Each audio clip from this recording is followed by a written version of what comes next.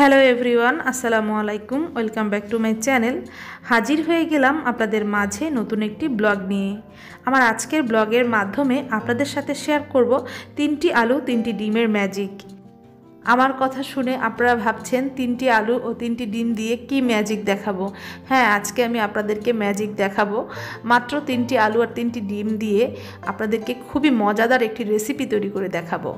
চলছে রমজান মাস, আর রমজান মাসে রোজা রেখে আমরা অল্প সময়ে এবং অল্প উপকরণ দিয়ে খুবই মজাদার এই রেসিপিটি তৈরি করে আমাদের প্রিয় মানুষদেরকে ইফতার করাতে পারি।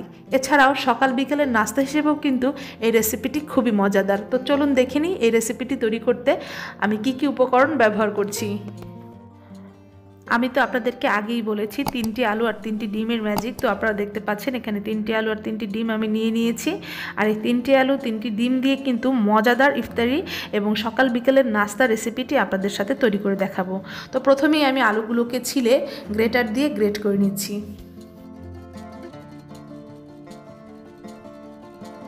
A few moments later.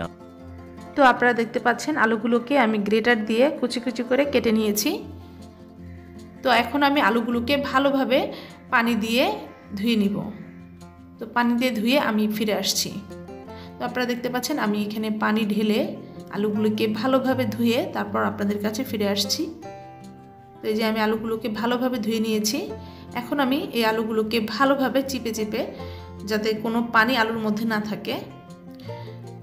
বাটির মধ্যে আলুগুলোকে উঠিয়ে নিচ্ছি।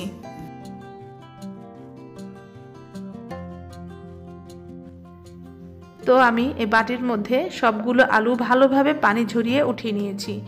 এই পর্যায়ে আমি আলুগুলোর উপরে ডিম ভেঙে নিচ্ছি। তো তিনটি আলু, তিনটি ডিম, তো তিনটি ডিম আমি ভেঙে নিচ্ছি।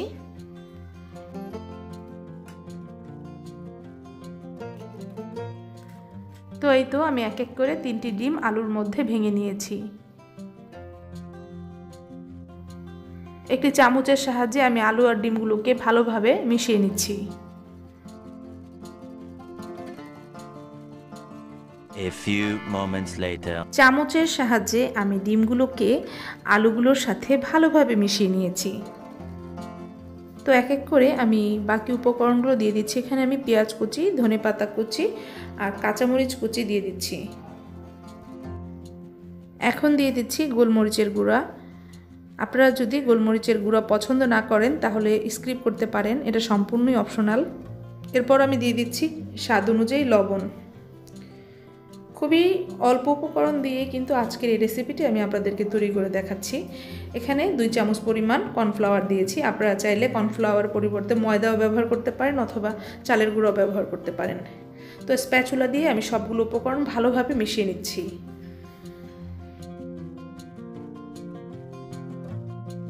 A few moments later. তো স্প্যাচুলা দিয়ে আমি ভালোভাবে সবগুলো উপকরণ মিশিয়ে নিয়েছি। তো আমার ব্যাটার তৈরি হয়ে গিয়েছে। এখন আমি একটা প্যানের মধ্যে দিয়ে দিচ্ছি বাটার আর দিয়ে দেবো সামান্য পরিমাণ সয়াবিন অয়েল। আপনারা চাইলে শুধু বাটার অথবা শুধু সয়াবিন অয়েল ব্যবহার করতে পারেন। তো আমি ভালোভাবে এই উপকরণগুলো গরম করে নিয়েছি।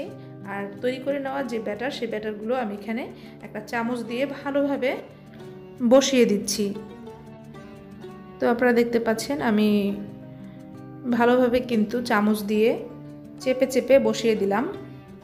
এখন আমি ঢাকনা দিয়ে প্রায় দুই মিনিটের মতো এই চামচ দিয়ে দেওয়া উপকরণগুলোকে কুক করে নিব।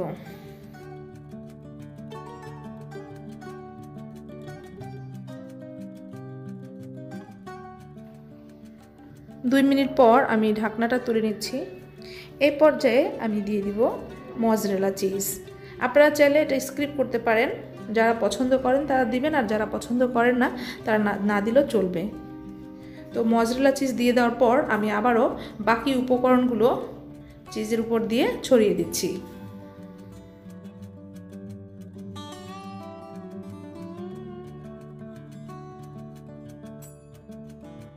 তো আমি সবগুলো উপকরণ দিয়ে দিয়েছি। এই পর্যায়ে ঢাকনা দিয়ে ঢেকে পনেরো থেকে বিশ মিনিটের মতো একদমই লো হিটে এই উপকরণগুলোকে কুক করে নিব। তো আপনারা দেখতে পাচ্ছেন আমি চুলার আঁচ আপনাদেরকে দেখিয়ে দিচ্ছি।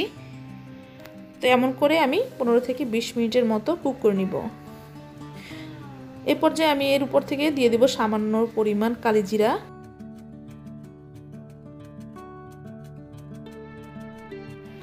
তো আমি কালিজিরা দিয়ে দিয়েছি আর দেখুন কালিজিরা দিয়ে দেওয়ার পর কিন্তু দেখতে খুবই সুন্দর দেখাচ্ছে। আপনাদেরকে খুব কাছ থেকে আমি দেখাচ্ছি। খুবই অল্প উপকরণে এবং খুবই অল্প সময়ে খুবই মজাদার এই রেসিপিটি আপনারা তৈরি করে আপনাদের প্রিয় মানুষদেরকে খাওয়াতে পারেন। তো ঢাকনা দিয়ে ঢেকে আমি পনেরো মিনিটের মতো লো হিটে কুক করে নিব। আর এই যে ঢাকনার গায়ে যে ছিদ্রটা আছে, একটা টিস্যু দিয়ে আমি ছিদ্রটার মুখ বন্ধ করে দিচ্ছি। ফিরে আসব আমি পনেরো মিনিট পর। A few moments later.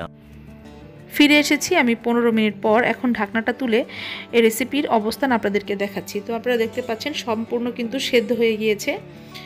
আর এখন আপনারা এই অবস্থাতে দেখে নেবেন যে নিচের পাটটা কতটুকু ভাজা হয়েছে। আপনারা আপনাদের পছন্দ অনুযায়ী ভেজে নেবেন। তো আমি আরেকটু কিছুক্ষণ ভেজে নিব। নিচের অংশটুকু কিন্তু ভাজা হয়ে গিয়েছে, কিন্তু আমি কিছুক্ষণ আরও ভেজে নিলাম। আপনারা আপনাদের পছন্দ মতো ভেজে নেবেন কিন্তু বেশি খুন করবেন না, তাহলে কিন্তু পুড়ে যেতে পারে। তো দেখুন আমি কীভাবে এটাকে উল্টে দিচ্ছি একটা প্লেট প্যানের উপর দিয়ে, তারপরে জাস্ট উল্টে দিয়েছি। এই পর্যায়ে কিন্তু আপনারা চুলার আঁচ বন্ধ করে দিবেন, না হলে কিন্তু আপনাদের হাতে চুলার তাপমাত্রা লেগে যেতে পারে। তো উল্টে দিলাম, খুব সহজেই দেখতে পেলেন, আর খুব সুন্দরভাবে কিন্তু ভাজা হয়েছে। তো আমি আবারও ঢাকনা দিয়ে ঢেকে প্রায় পাঁচ মিনিটের মতো কুক করে নিব। রমজানের রোজায় আমরা প্রতিদিনই ইফতার করে থাকি, আর ইফতারিতে কিন্তু কমন খাবারগুলো থাকেই, পেঁয়াজু, আলুর চপ, বেগুনি। মাঝে মাঝে কিন্তু একটু নতুনত্ব থাকলে ভালো লাগে। তো আমার এই সম্পূর্ণ নতুন এই রেসিপিটি আপনারা বাসায় একবার হলেও ট্রাই করে দেখবেন, খুবই মজাদার এবং খুবই সহজে এবং অল্প উপকরণ দিয়ে কিন্তু এই রেসিপিটি তৈরি করা যায়। তো এখন আমি আপনাদেরকে দেখিয়ে দিচ্ছি একটা স্টিকের সাহায্যে যে এই রেসিপিটি সম্পূর্ণভাবে তৈরি হয়ে গিয়েছে। আর দেখতেই পেলেন খুব ঝটপট কিন্তু তৈরি করে নিয়েছি। তো আমি একটু চেপে চেপে দিচ্ছি যেন নিচের দিকটা আর আমি একটু দেখে নিচ্ছি যে নিচের দিকটা ভাজা হয়েছে কিনা। তো নিচের দিকটাও ভাজা হয়ে গিয়েছে। এখন আমি একটা সার্ভিসিং প্লেটের মধ্যে এই রেসিপিটাকে উঠিয়ে নিচ্ছি। আমি যেভাবে এটাকে উল্টে দিয়েছিলাম ঠিক সেভাবেই একটা সার্ভিসিং প্লেটের মধ্যে উঠিয়ে নিচ্ছি. এই তো আমি প্লেটের মধ্যে উঠিয়ে নিয়েছি। আপনারা দেখতে পাচ্ছেন খুবই সুন্দর এবং খুবই মজাদার স্বাস্থ্যকর এই রেসিপিটি আমি খুব অল্প সময়ে অল্প উপকরণ দিয়ে আপনাদের সাথে তৈরি করে দেখালাম। দেখতে কিন্তু খুবই সুন্দর আর খেতেও কিন্তু দারুণ ইয়াম্মি এই রেসিপিটি। আপনারা অবশ্যই বাসায় ট্রাই করবেন। বাচ্চারা কিন্তু এটা খেতে খুব পছন্দ করবে। তো এখন আমি এটা আপনাদেরকে কেটে দেখাচ্ছি কেমন হয়েছে।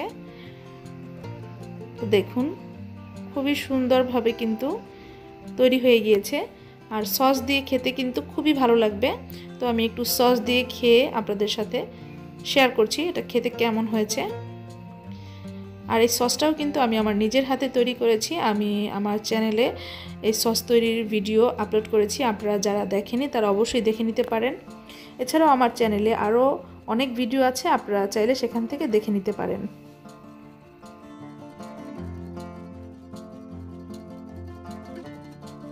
আমার আজকের তিনটি আলু আর তিনটি ডিমের এই ম্যাজিক আপনাদের কাছে কেমন লেগেছে, আপনারা অবশ্যই আমাকে কমেন্টসের মাধ্যমে জানাবেন।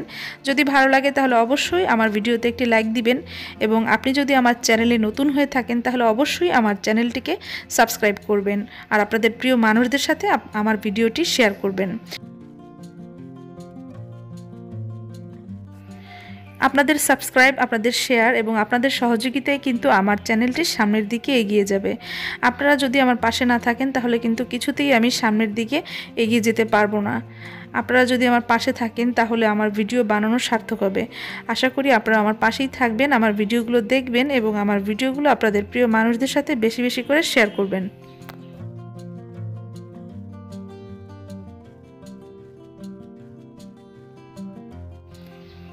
তো দেখতে পাচ্ছেন, আমি কিন্তু সস দিয়ে রেসিপিটি খুব মজা করে খাচ্ছি। আপনারাও কিন্তু এভাবে তৈরি করে আপনাদের প্রিয় মানুষদেরকে এই রেসিপিটি খাওয়াতে পারেন।